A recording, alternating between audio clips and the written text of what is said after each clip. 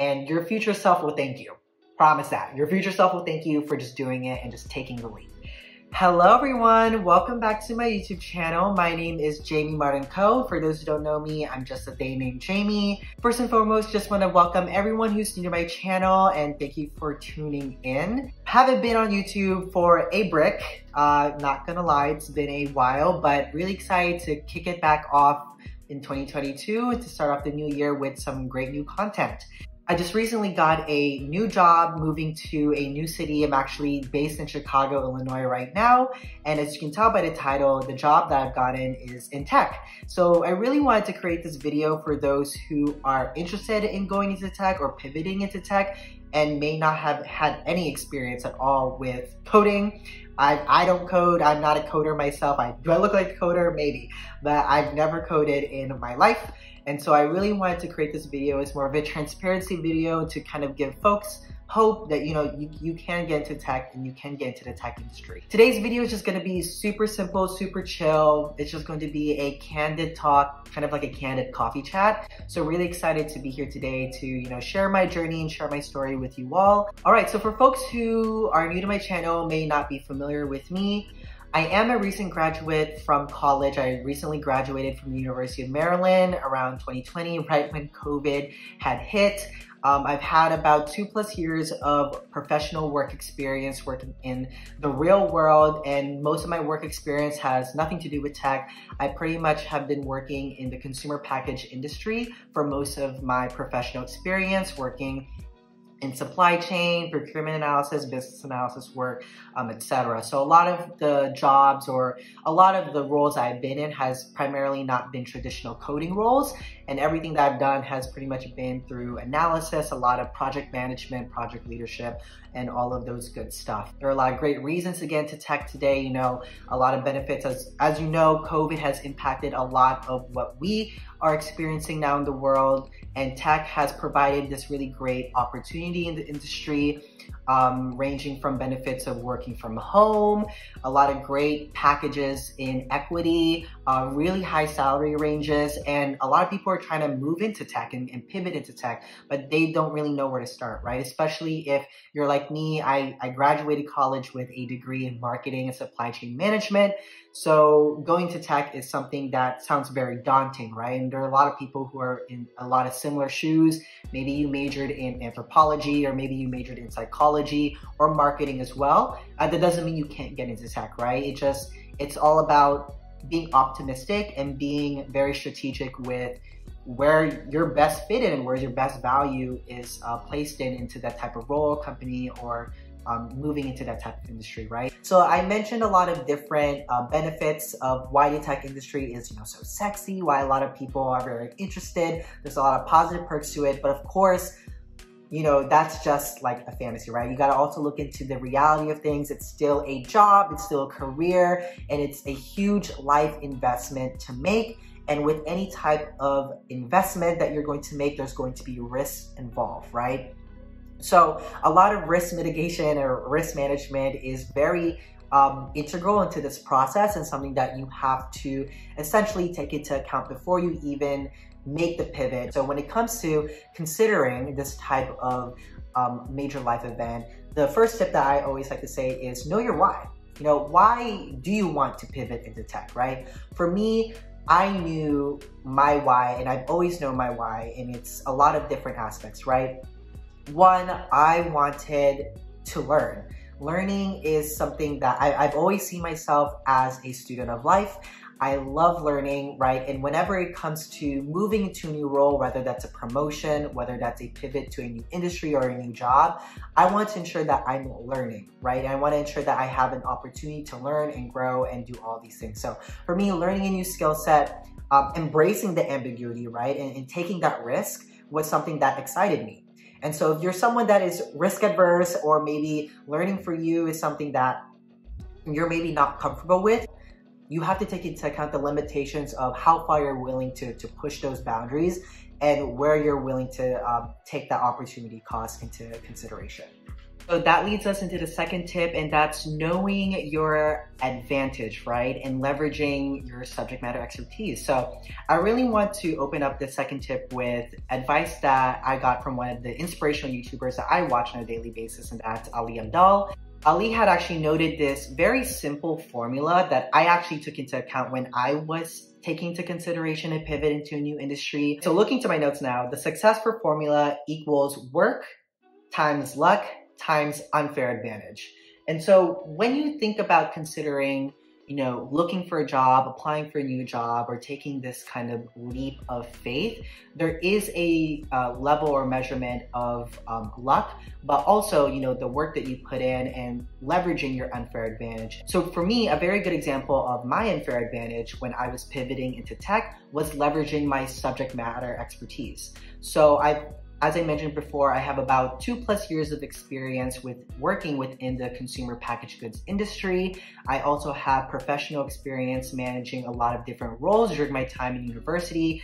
And all of those work experiences, as well as projects that I've done in the past and learnings that I've accrued through all of my time from school and outside of school, they all are unfair advantages that I leveraged and exploited during my interview, right? Because you always want to show the value you can add to a company, especially a tech company, um, and knowing essentially who are the clients that they serve, right? So when you go to apply to a tech company and you're applying for a role that is non-traditional coding, you're likely going to be applying for roles that are likely within business development, sales, human resources, um, product marketing, or product management. A lot of these uh, non-traditional coding roles are going to be client facing, right? So you gotta take into account, okay, these tech companies are going to be working with external facing um, stakeholders, and a lot of these stakeholders are going to have different industry knowledge. Right? Not only are you going to be taking into account that you're going to be entering a very unfamiliar, very new industry in technology and information,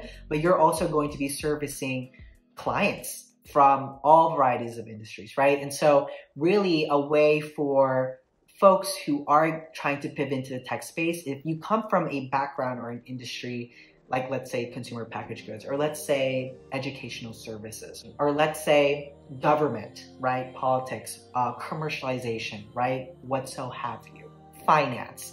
You leverage that, right? That's your unfair advantage. That is, you know, the luck, right? The faith that you have in yourself and putting yourself out there, the work that you're doing to apply yourself to these jobs and, you know, get into um, putting your foot into the door and then leveraging your unfair advantage, which is the the years of experience that you're bringing to this tech company, right? That um, that that subject matter expertise that you know about the industry that they may not know, right? That you can add value to the client. Another very, very important tip, and you've probably seen these in so many different videos, is to leverage your network. I cannot stress this enough. Networking is positive. You can take anything away from this video. It's leverage your network, right?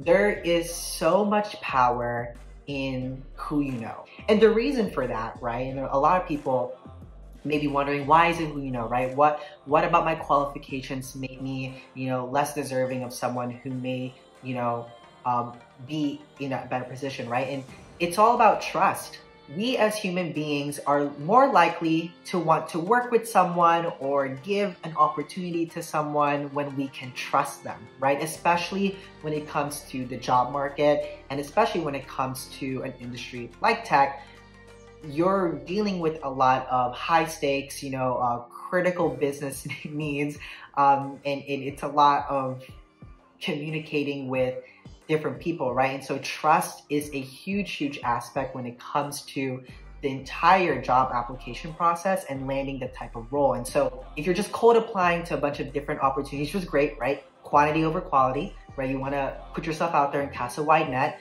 But if you're seeing something unsuccessful and you're seeing, you know, no gains in this process, you have to essentially, you know, build trust, right? And, and likely that's the factor that you're missing there is you're not building trust, right? And there are a lot of ways to build trust um, and build this type of system for yourself, especially when you're in the job market and when it's, you know, against a lot of competition. I like to think of this situation as kind of, you know, there, there's this TikTok that I'm referring to. It's kind of, you know, you have to break the loop or the pattern's not going to essentially um, break, right? Like you have to break the loop, right? Because if you keep doing the same thing over and over again, uh, you're gonna have the same result, right? So you have to do something differently.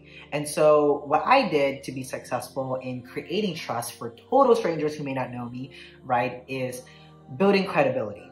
So investing in my LinkedIn account and LinkedIn page was a huge way of building my professional persona and allowing folks who may not know me to find my profile and then establish some sort of rapport on my professional work experience, right? I've had folks within my team provide recommendations for me, endorse me. Um, I have a high level overview of my history on there and I have a picture of myself, right? And just a back, some background of who I am and, and, and you know, you know, I'm a real person, right? Think about it like dating. When you go and date someone through, you know, an, an online app like Hinge or something like that, you want to have some sort of background about that person and, and a profile about them because one, you don't want to be catfished, right? You're investing a lot of time and energy into meeting this person. And two, you want to ensure that you feel safe, right? And there's some level of trust or, or boundaries that can be there when, when you meet this person. And so a LinkedIn profile is kind of like that. You're creating some sort of um, rapport will ensure, you know, companies who are looking to fill in those uh, positions, whether that's a tech company or another industry, um, they feel safe around you, right? So definitely number one is to ensure your LinkedIn profile is up to date and try and, you know, maybe, and a good tip to that I like to do sometimes I endorse my friends or endorse professional colleagues first. That actually leads them to endorse me back. So you kind of do an endorse for endorse, right? Or you leave a recommendation for your professional colleagues and then you can ask for one in return. That's another good way to kind of get that ball rolling. A second way is to also leverage your network, right? So if there are target companies or target tech companies that you want to work in, more likely than not, you probably have a friend or colleague that works at that company. So really go out of your way to connect with them and maybe ask for a referral, right? Or maybe ask for an informational interview. If you don't have someone, that's totally fine. Uh, one way is, again, leverage your LinkedIn profile and you can try and connect with folks who you have similar connections with, right? So maybe you attended a similar university, so you can go into the search in tab, maybe search in X company and search in your, your school and alum school and you can see who in your alum, right? You have someone networks in and kind of connect with them. Say, hey, you know, my name is Jaime. I attended X university. I see that you are working for X company. I'm very interested in this specific type of role and would love to connect one on one to learn a little bit more about your journey with the company. Would you be open to a coffee chat, coffee on me? Right? You may get some ghosting, you may get some no's, right? Or maybe some people may not. But, or the, the better opportunity is you may get that connection. Not only have you started to begin the process of building trust with an existing employee within that tech company, now you can actually start to learn more about the company, right? Get insider you know, knowledge so that when you go into the recruiting application process or what have you not, you have a better advantage now. So definitely leverage your networking. Building that trust is so important. I cannot stress that enough. And finally, all I want to say is, you know, the last tip is to just apply. Just put yourself out there and start applying. Closed mouths don't get fed, right? uh, word to Cardi B, she mentioned it in a quote, and it's all about just your mindset, right? Being open to the possible opportunities out there. So you want to make sure that you are continuing to apply yourself, right? Continuing to pressure test yourself in the market, allowing yourself to have a bunch of different opportunities because you don't want to settle, right, for just one opportunity. You want to ensure that all your eggs are now in one basket and that you're diversifying your uh, your cards on the table, right? You want to have as many cards on the table that you can uh, when making a very huge, you know, major life event choice, such as moving or getting into a, a job in tech, right? And so options are always good. It is a business decision at the day, so never feel bad about this process. This is a business decision. You are providing a service, right? You are providing knowledge, um, performance results are going to increase, you know, X revenue decrease, you know, um, X percentage of waste, what have you not, right? And that is something that is of value, right? So you want to ensure that you are not settling and that you're giving yourself the options that make the most sense for you and that you're making the best choice as possible because the grass is not always greener, right? On the outside. When you make a jump, or into a new role, the grass is not always greener. So you want to make sure that that grass is trimmed as much as possible, that the garden looks good before you enter it, uh, because that is going to be very, very important um, in your job satisfaction and how in, in, in the investment that you're making to yourself to, to move into that sort of space. You will likely never be ready, right? I don't think there's ever a time where I felt ready when I was jumping into a new role, whether that was a promotion within my company or pivoting to tech right into a new industry.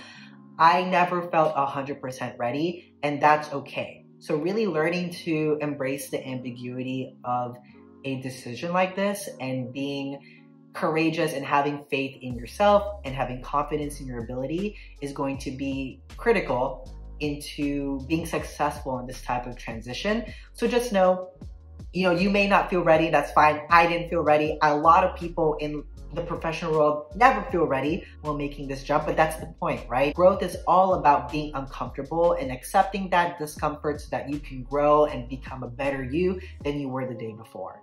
So you may not feel ready and that's the point. So just apply, right? And, and just do it. And, you know, enjoy the process and journey along the way. And your future self will thank you. Promise that. Your future self will thank you for just doing it and just taking the leap. Thank you so much everyone for joining in on this video. Um, hopefully it wasn't too long and hopefully you found some value in some of the tips that I have shared with you all. Uh, best of luck to everybody who is out on this journey, trying to get into tech or just trying to maybe go into a new job or industry. Maybe it's not tech, maybe you just want to get into a new role within your company or your industry and that's fine. And hopefully these tips came of value to you. I'd love to hear your stories, so please feel free to share your stories, share additional advice in the comments below. I'd love to hear and engage with you all, and I'm sure folks who are watching the video would love to hear your stories as well. So please, please, please share in the comments below. Uh, if you found this video to be of value, please give it a like and thumbs up. And if you want to see some more content like this, please, you know, subscribe to my channel and please leave a comment below as well on what types of other videos you'd like to see. I'd love to, you know, create more videos that add value to you and your life and, and all those things. So just remember again, this video, take it with a grain of salt. I'm just a day named Jaime, just here experiencing the roller coasters of life, just like you and just like anybody else. But I know hopefully we're all gonna ride that roller coaster up together and get into the places of life that we, you know, deserve to be in. Uh, but thank you so much, everyone, for your time today. And, you know, hope you all have a great rest of your day. So peace out.